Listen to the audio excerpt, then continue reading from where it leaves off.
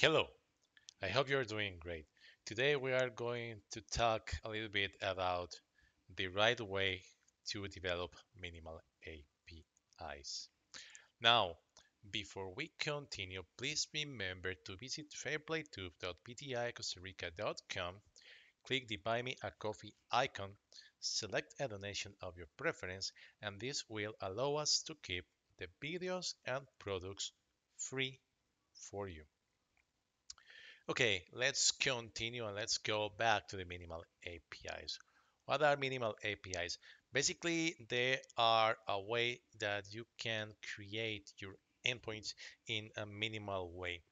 The reason behind it, there are a couple of reasons behind it, right? One is to facilitate the uh, more users to use C Sharp and .NET, right? Pretty much uh, make it easier for new developers to learn the language, right? Avoiding a lot of what they are calling boilerplate, which is basically the structure or organized structure that you have in uh, things like MVC and controllers and all that. Now, there is also uh, some performance gain um, because with minimal APIs, you don't have to create the controllers and you don't have like all of the process that goes behind instantiating the classes for the controllers and all that, right?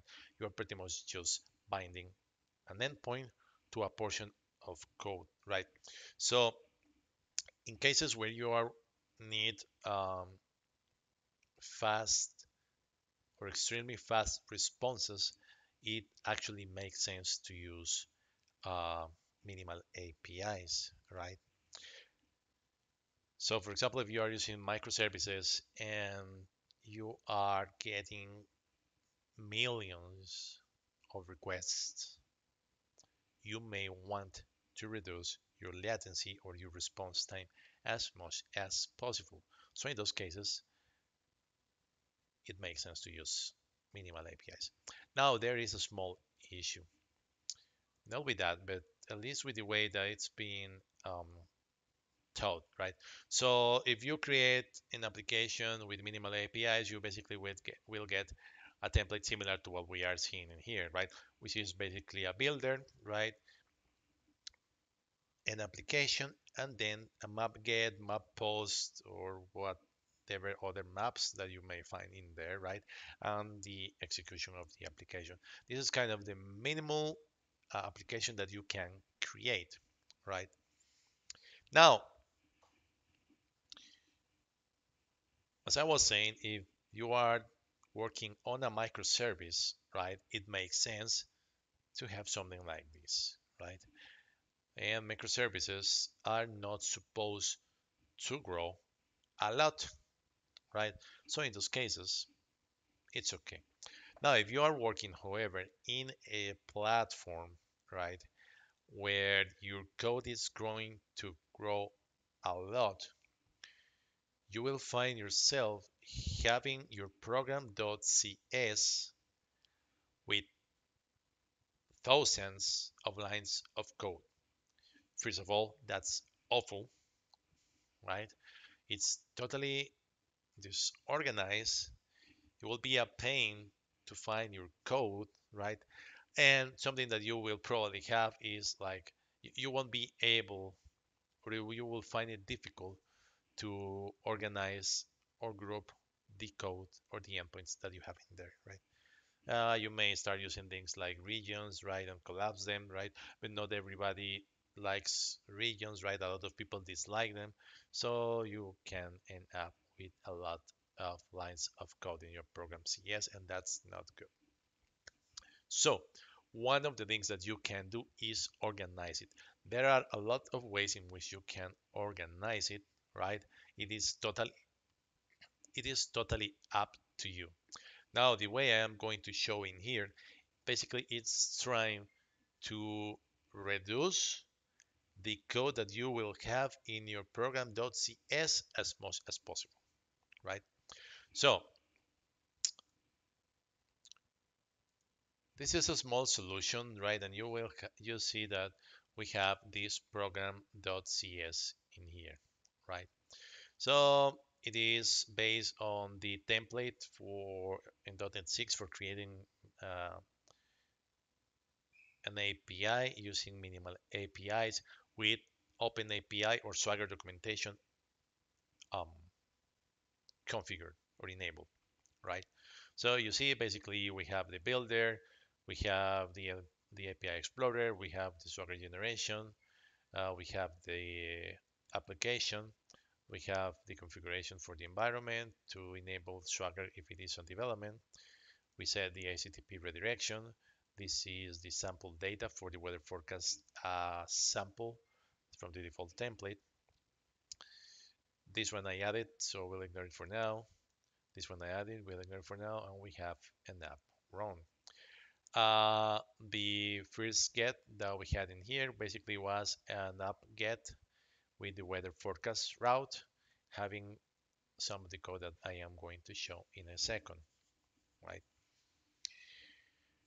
Now, you will imagine that if you have all of your code in here, you will start having, this will grow a lot, right? 1, 2, 3, 4, 10, 20, 50, 100 map gets, right? Only for the gets. Then you need to evaluate to um, to have the other maps, right? Map post, uh, map put, map delete, and you see how it will eventually grow a lot if you do that, right? And that's not good. That's not something you may you want to have. For small applications, it's okay to have the things like here, right? In other in other scenarios, basically you want you want to reduce the code you have in your program.cs as much as possible. And one of the ways in which you can do that is to create um, some classes and having having them organized. So basically, what did I did what did I do in here? So we have this app which is of type web application, right? The map get returns a route handler builder, right? So I want to create some classes that will use the um, that will register everything, right? So I put here route builders. It's a folder. I organize this.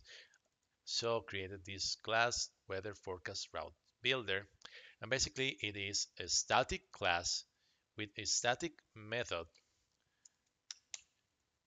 or better said, it is an extension method to the web application, which is the type of the application, right? That's the type that the um, builder.build returns, right? And here you can start adding your data and start adding. You will put like build get, build put, build post, right? And in this class, you will uh, configure all of your um, methods for each of the HTTP verbs that you will need for this specific entity or domain or however you want to organize it or call it, right? And then the build get basically you pass the application right? And in here uh, actually in here I don't need this but in this other one yes. Because th that's just this data and that's the only one I have at the moment right? So use this right? And then you do the map get inside the build get. And then you will have a build post and inside you will add things like app.mapPost and you configure your method or whatever you want to do in there, right? You can also use dependency injection. This um, delegate will basically uh, try to match anything that is registered. You see that in here I actually registered this service. So it will recognize that this is um, added to the services. It will retrieve it from the services and you will be able to use it, right? So that's a way in which you can do it, right? And basically you see that I will I can have in here like 10, 20 or more methods the ones I need for each of the routes or verbs for this specific uh, class, right? Which it will be similar to a controller actually, right? And then in here, I will only have one line per single entity or domain or however you want to organize it or call it, right? And your program.cs will actually be small, right?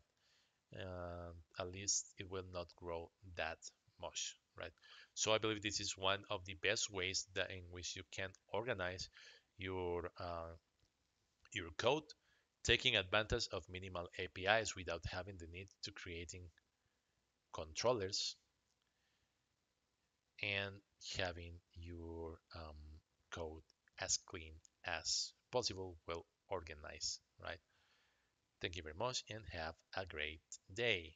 And remember, visit fairplaytube.pticostarica.com, click the Buy Me a Coffee icon, select a donation of your preference, and this will allow us to keep the videos and products free for you.